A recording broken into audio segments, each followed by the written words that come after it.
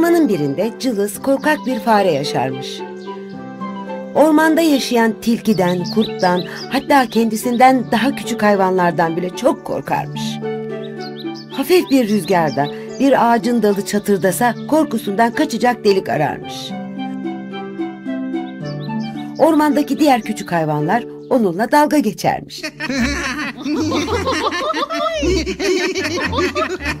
Nasıl da korktu yine? Rüzgardan bile korkuyorsun.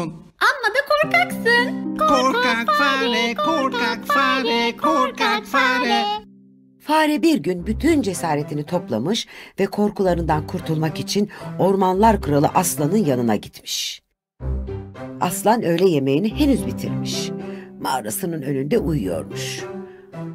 Farenin arkadaşları merakla onun ne yapacağını bekliyormuş.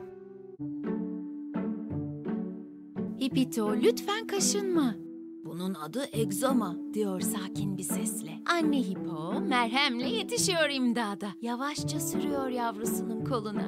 Ve pantol sensi derm. Fare uyuyan aslanın kuyruğundan yukarı doğru tırmanmaya başlamış. Aslanın sırtına çıkmış.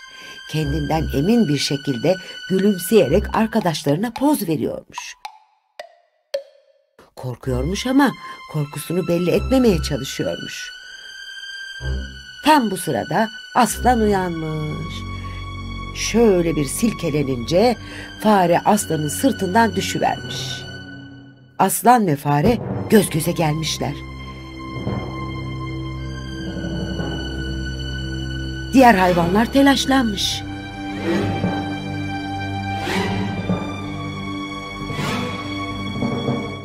Eyvah! Şimdi aslan fareyi hüp diye yutacak. Bu ne cüret, bu ne cesaret. Sırtında ne işin var senin? Ey e, a- a- ormanlar kralı lütfen beni yemeyin. Ormanda yaşayan bütün hayvanların içinde en zavallısı ve en korkağı benim. Hayatım korkularım yüzünden titremekle geçiyor. Ağaçtan yaprak düşmesinden bile korkuyorum. Artık bu korkulardan kurtulmak istiyorum. Siz bu ormanın kralısınız. Sizin bir kükremenizle bütün hayvanlar dehşete düşüyor. Siz beni korumanız altına alsanız nasıl olur acaba? Aslan farenin anlattıklarını sessizce dinlemiş. Fare merakla aslanın cevabını bekliyormuş. Aslan önce bir kahkaha atmış.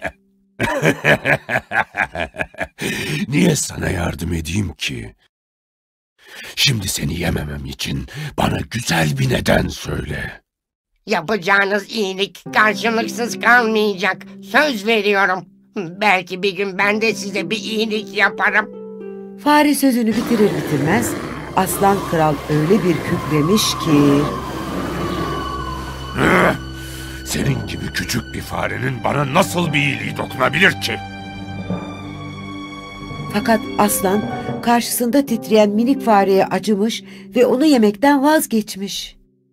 Neyse ki karnım tok. Hadi şimdi kaybol gözümün önünden. Fare koşarak oradan uzaklaşmış. Bu konuşmayı uzaktan izleyen farenin arkadaşları çok şaşırmışlar. Aradan bir zaman geçmiş. Aslanın karnı acıkmış ve ormanda dolaşmaya çıkmış. Fakat avcıların kurduğu tuzaklardan birini fark edememiş ve tuzağa yakalanmış.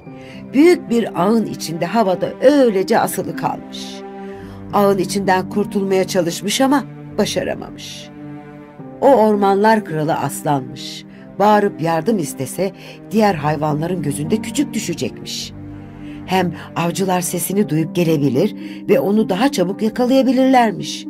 Çaresiz beklemeye başlamış. Bu sırada ormanda yaşayan diğer hayvanlar aslanı fark etmişler. Fakat kimse cesaret edip aslana yaklaşamıyormuş. Oradan geçen minik fare aslanı görmüş ve ona yardım etmeye karar vermiş. Hemen aslanın yanına gitmiş. Yere kadar sarkan kuyruğuna tırmanmış ve ağlara ulaşınca keskin dişleriyle ağın ipini kemirmeye başlamış. Bu sırada tavşan koşarak yanlarına gelmiş. Fare kardeş acele et! Avcılar buraya doğru geliyor! Orada toplanmış olan diğer hayvanlar avcı kelimesini duyunca hemen kaçıp saklanmışlar. Ama fare inatla ve azimle ağı kemirmeye devam etmiş. Sonunda ağ yırtılmış ve aslan yere düşüp kurtulmuş. Hemen sırtıma atla. Kaçalım buradan. Fare aslanın sırtına atlamış ve oradan uzaklaşmışlar. Aslan nefes nefese mağarasının önüne gelmiş. Yere eğilmiş, fare de sırtından atlamış. Bana belki bir gün benim de size bir iyiliğim dokunur dediğinde seni küçümsemiştim. Senin işe yaramaz minik bir fare olduğunu düşünüyordum. Ama sen benim hayatımı kurtardın. Teşekkür ederim. Rica ederim kralım. Artık benden korkmana gerek yok. Hatta hiçbir şeyden korkmana gerek yok çünkü sen çok cesur bir faresin. Ben ormanın kralı aslansam, sen de bundan sonra bu ormanın cesur prensisin. Aslan ve fare kahkahalarla gülmeye başlamışlar.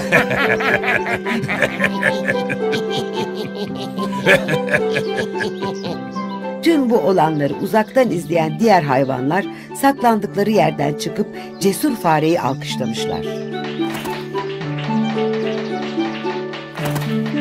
Aslan ve fare çok iyi dost olmuşlar ve ormanda barış içinde yaşamışlar.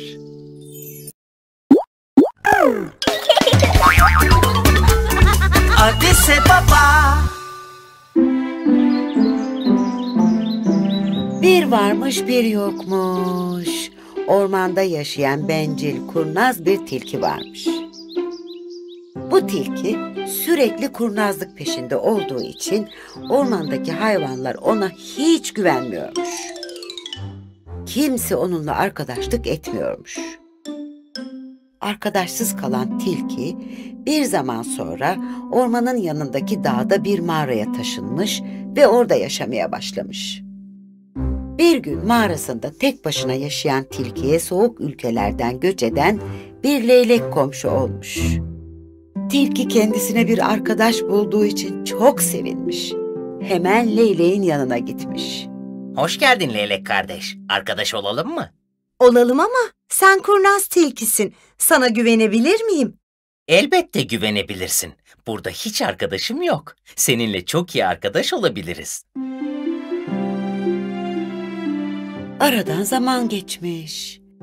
Tilki yemeklerini yalnız yemekten sıkılmaya başlamış. Bunun üzerine yeni komşusu Leyleği yemeğe davet etmiş. Bu davete sevinen Leylek büyük bir mutlulukla Tilki'nin evine gitmiş. Tilki'nin yemek için hazırladığı çorba oldukça güzel kokuyormuş. Masayı hazırlamaya koyulan Tilki geniş bir kaba çorbaları koymuş. Leylek sofraya oturmuş, Tilki de karşısına geçmiş. Hadi afiyet olsun. Umarım çorbamı beğenirsin. Tilki iştahla kaseden çorbasını içmeye başlamış ama leylek geniş tabakla yemeği nasıl yiyeceğini bir türlü bulamamış. Gagasını geniş kaba daldırsa da ağzına yalnızca bir iki tane pirinç tanesi geliyormuş. Leylek birkaç pirinç tanesini ancak yiyebilmiş ki tilki bütün yemeğini çabucak bitirivermiş. Tilkinin düşüncesiz ve anlayışsız davrandığını düşünen leylek bu duruma çok kırılmış. Ama misafir olduğu için de çok belli etmemiş. Ben artık gideyim tilki kardeş. Yemek için teşekkür ederim. Ama daha çorbanı bitirmemişsin. Sevmedin mi yoksa? Neyse sen bilirsin. Ben seninkini de yerim. Leylek masadan kalkıp çıkarken tilki leyleğin tabağındaki çorbayı yemeye başlamış bile. Leylek üzgün evine dönmüş. Hem arkadaşı kendisine düşüncesizce davrandığı için hem de masadan aç kalktığı için bütün gece uyuyamamış. İkimiz çok farklı hayvanlarız. Tilkinin bunu anlaması ve kabul etmesi gerek. Ama nasıl? Biraz düşününce Leyleğin aklına bir fikir gelmiş. Tilkiye güzel bir ders verecekmiş. Sabah olduğunda heyecanla arkadaşı Tilki'nin evine giden Leylek onu akşam yemeğine davet etmiş. Tilki de bu davete çok sevinmiş. Çok teşekkür ederim komşum. İyi ki seninle arkadaş olmuşuz. Akşamüstü yemeği hazırlamaya başlayan Leylek hem kendisi hem de arkadaşı Tilki için dar ve uzun bir kap seçmiş. Arkadaşı için pirinç pilavı hazırlayan Leylek, Tilki gelmeden sofrayı kurmuş. Suları da dar ve ince kaplara koymuş. Biraz sonra Tilki gelmiş. Karnım çok aç Leylek kardeş. Hemen sofraya oturalım. İki arkadaş sofraya oturmuşlar. Hadi bakalım afiyet olsun. Tilki önündeki dar kaptan yemek yemeye çalışmış ama başaramamış. Su içmek istemiş, o da olmamış. Leylek ise ince uzun gagasını dar kabın içine daldırıp iştahla yemeğini yemeye başlamış. Tilki sofrada duran çatalı tutup pirinçleri çıkarmaya çalışırken Leylek yemeğinin hepsini bitirmiş. Tilkinin şaşkınlığını gören Leylek, Aa, Tilki kardeş yemeğini yemiyorsun. Yoksa sevmedin mi? Yiyemiyorum ki seveyim arkadaşım. Bu kap bana uygun değil. Senin uzun gagan rahatlıkla içine giriyor. Ama ben ağzımı sokamıyorum. Leylek de zaten bu cevabı bekliyormuş. Tilki kardeş hatırlar mısın? Ben de senin evine yemeğe geldiğimde aç kalmıştım. Çünkü sen de sofraya benim yemek yemeyeceğim geniş tabaklar koymuştun. İşte o zaman tilki yaptığı hatanın farkına varmış. Arkadaşı Leyleğin önüne geniş tabaklar koyduğu için çok üzülmüş. Özür dilerim arkadaşım. Senin gaganla geniş tabaktan yemek yiyemeyeceğini düşünemedim. Önemli değil Tilki kardeş. Önemli olan beni anlamandı. Farklılıklarımıza saygı duymayı öğrenmeliyiz. Leylek sofraya tilkinin rahatlıkla yemek yiyebileceği geniş bir tabak getirmiş. Yemeği ona koymuş. Tilki rahatlıkla yemeğini yemiş bitirmiş.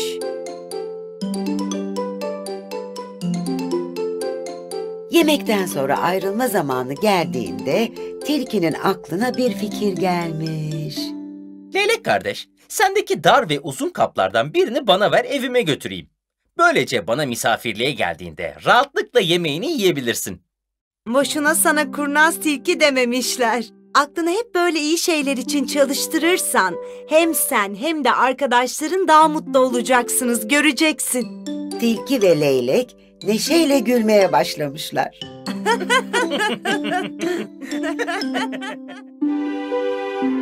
Aradan aylar geçmiş. Leylek sıcak ülkelere gitmek üzere yola çıkmadan önce komşusu Tilki ile vedalaşmış.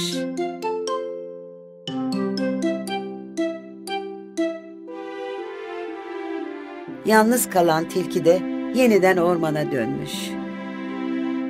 Leyleğin sözlerini hiç aklından çıkarmamış.